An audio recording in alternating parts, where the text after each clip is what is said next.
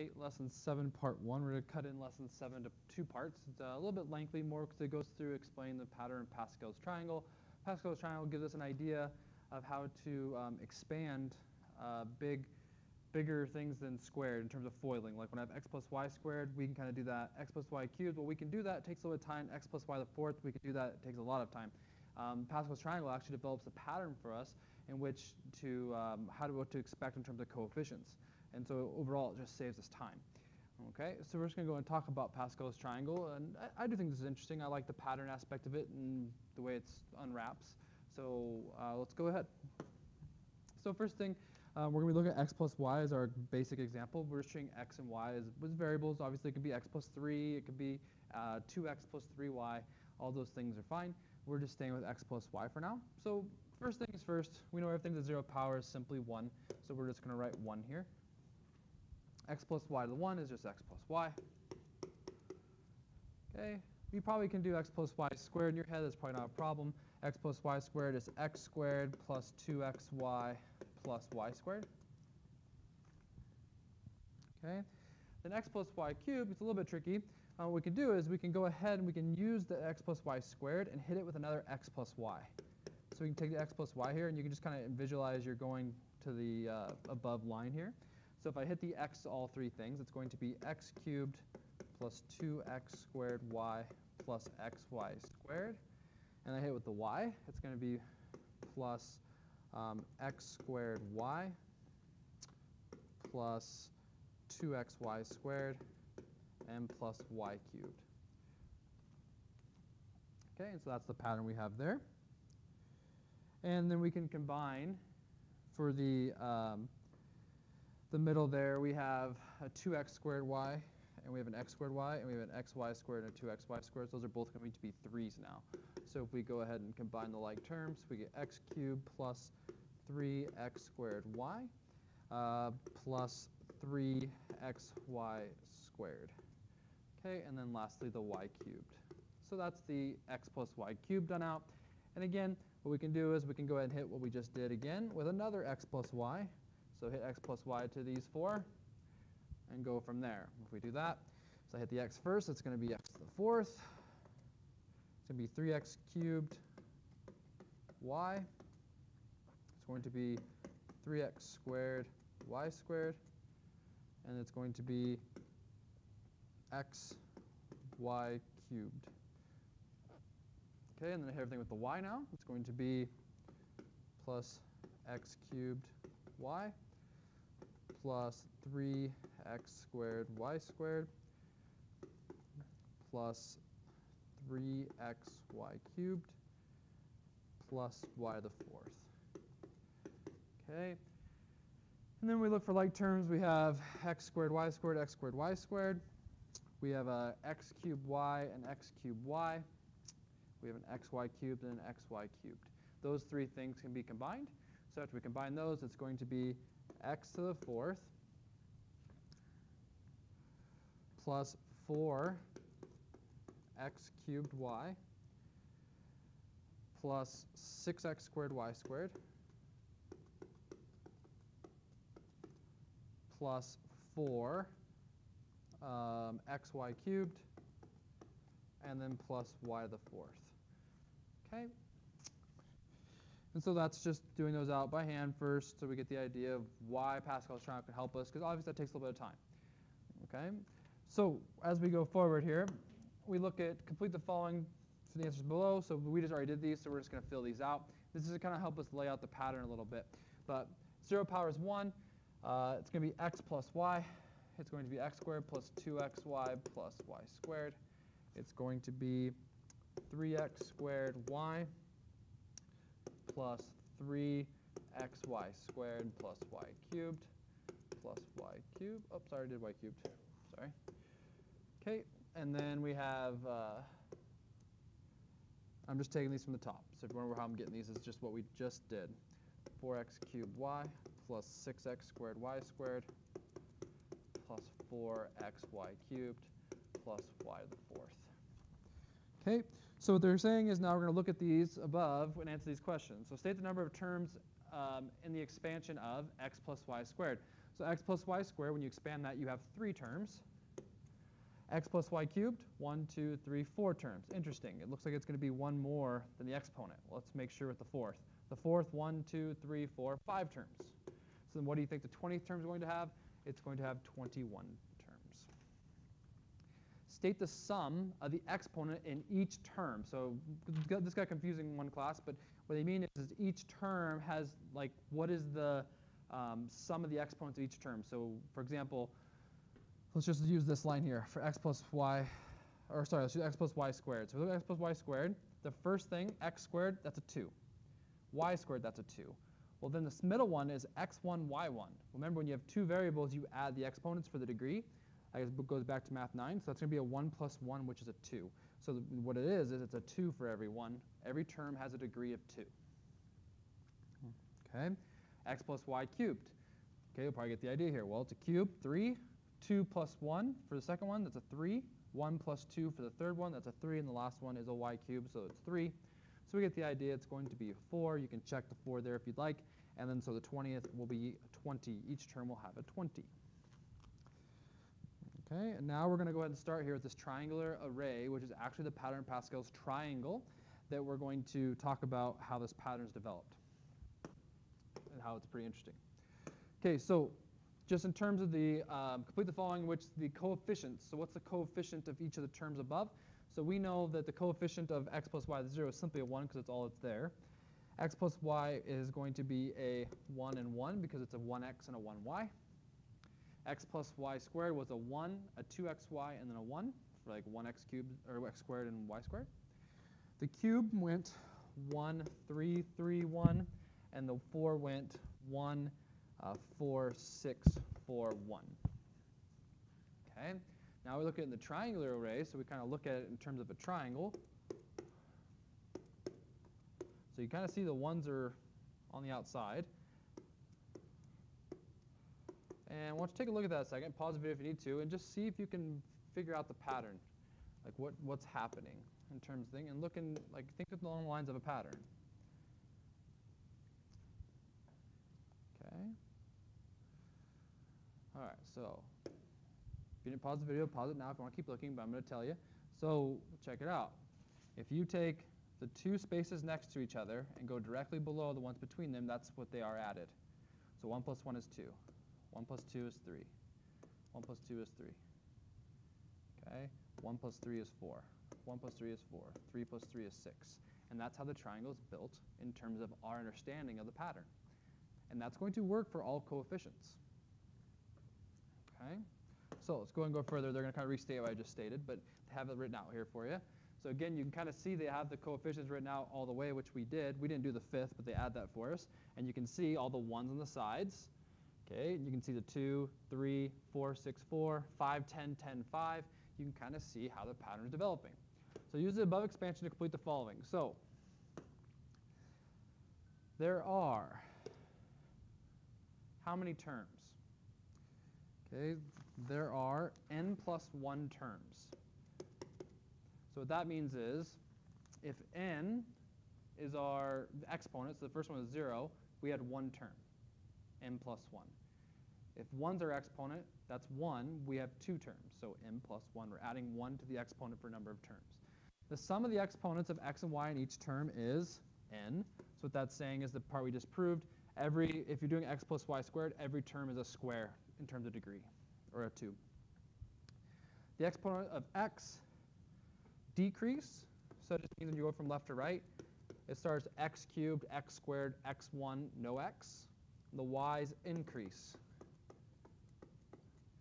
There's no y, y1, y2, y3, y4, if I'm looking at the, y, the x plus y4 line. The coefficient each expansion form a symmetrical arrangement. So we have 1, 1, 5, 5, 10, 10. 1, 1, 4, 4, 6 dead center. Okay, so they're symmetrical. Okay. All right, keep on going. All right, the coefficient in the above expansion can be put in a triangular array known as the Pascal's triangle named after Blaise Pascal who developed the application of the triangle in the 17th century. Use patterns to complete the next three rows of Pascal's triangle. So let's go ahead and just complete the pattern. So we're focusing on the pattern. So again, we kind of know it's going to be 1, 1, 1, 1, 1, 1. Okay, for our next three rows. 1 plus 5, that's going to be a 6. 1 plus 6, that's going to be a 7. 1 plus 7 is going to be an 8. We can do that on the other side because remember it's symmetrical. Okay, and then we have, um, we can go next one, 5 plus 10 is 15. 5 plus 10 is 15. 10 plus 10 is 20 for the dead center of that one. So there's the first row. 6 plus 15 is 21. 6 plus 15 is 21. 15 plus 20 is 35. 35. So that's an even row. So that means there's the exact same number on both sides. The one above it was an odd row. I mean odd in terms of terms. Okay. Um, 7 plus 21 is 28. 21 plus 35 is 56. 35 plus 35 is 70. 35 plus 21 is 56. And the 28 again. And so there's our three additional rows. Complete the following expansion. So now it's saying, well, with that knowledge, what is x plus y to the 6? Now the idea is not to FOIL this out. We're going to use Pascal's triangle. So one thing that people get confused on is the first row is a 0 for exponent. This is a 1, this is a 2, this is a 3, this is a 4, this is a 5, this is a 6. So this is the line we're looking at. This is the line we're looking at, okay? Because that's the exponent of 6. So technically it's the seventh row down, but in terms of exponents it's a 6. That's why it's n plus 1. So it's going to be, with using the pattern, it's going to be 6 x to the fifth y. So see what I did here was I took 1 off my x6 to make it x5, and I put that 1 on a y. So it's y1, 5 plus 1. And you just kind of interchangeably just keep doing this down the pattern. So like the next thing is going to be a 15. So you put 15, and instead of an x5, it's an x4. That means I need a y2 to make 6. And then we go again, 20. It's going to be an x3 and a y3. And see what's interesting about this is, is that 20 is a dead center. That's why those are exactly matched in terms of exponents. Okay, so when you have an even um, an even exponent, you're going to have a dead center. Um, what do you call it? Term. Okay, and then 15 again, and now it's going to be x2 y4. Then you're going to have the 6x1 y5, and then you're going to have the y6 to finish. Okay, and then we'll do the 7 as well. So that'll just be the next row down, be this one here. So x7 Okay, and then it's going to be 7x6y1 plus 21x5y2 plus 35x4y3 plus 35. So this is where there's one not dead center because you can see it's an odd number of coefficients, so we can never match. So there won't be a center like 3, 3. So now it's going to switch from um, x4y3 to x3y4. Okay, and then we're going back now. 21, now it's an x2, y5, 7, x, y6, and lastly the y7. Okay, so we got all that taken care of. And it says, which row of Pascal's triangle is equivalent to the coefficients of the term in the expansion of x plus y to the 6? So which row? So now we're counting the rows down. This is the n plus 1 idea. So if we want to do, now if we're counting rows, I know I start with 0 here, but technically this is row 1, row 2, row 3, row 4. That's what's confusing about this a little bit. So um, when you're talking about what row of the Pascal's triangle is it, uh, exponent of 6 is row 7. Exponent of 7 is row 8. Exponent of 12 is row 13. Exponent of n is n plus 1. Okay? All right. Just got a little bit more for part one, and then we'll stop before the examples, and I'll make a second video for that just to make sure this isn't too long. Okay, so Pascal's triangle in terms of combinations. So it also happens in terms of combinations, and that's applicable to what we're doing in permutations combinations. So Pascal's triangle is actually an array of combinations. The reasoning behind this will be developed in the next lesson. on the binomial theorem. So um, row 1 is 1. Well, 0 choose 0, there's only one way to do that, so it's a 1. Row 2, and what you're, what you're seeing is, is that if you go through all of these and you match them, um, 3C1, just for example, 3C1 is equivalent to 3. That's the same spot. So 3C1 is 3, which makes sense. If you think about that, what that combination is saying, that combination is saying you have three things, you're going to choose one of them. How many ways can you do it? Well, you can choose them three different ways. That's it, because there's only three. Okay, and so anyways, these combinations are equivalent to the values in the Pascal's triangle. State the first three terms of the eighth row of Pascal triangle in combination form. So now we're going to use combination form. We're going to apply this to the combinations that we are familiar with. So it says the first three terms of the row 8. So row 8 would be the one after 7 here. So we know it would be, see how it's 6C0? It'd be 7C0. That's the first one. The second one would be 7C1, 7C2.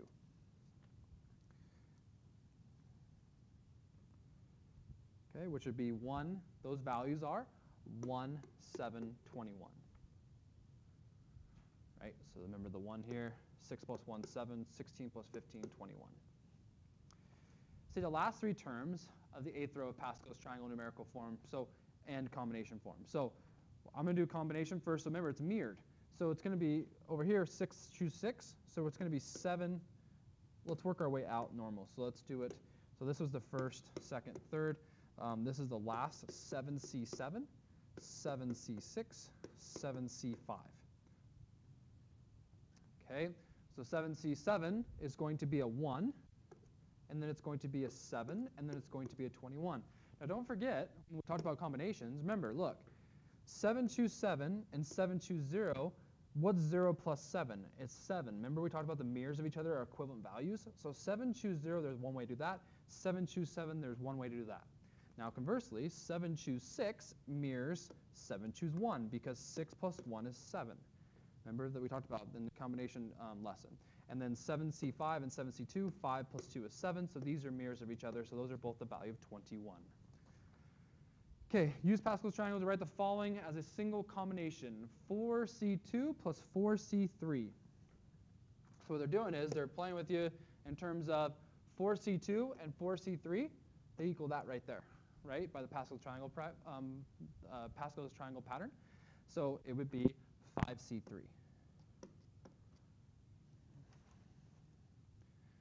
6C0, 6C1, so that's going to be these two add together. What do they give you? They give you this one, which is going to be 7C1.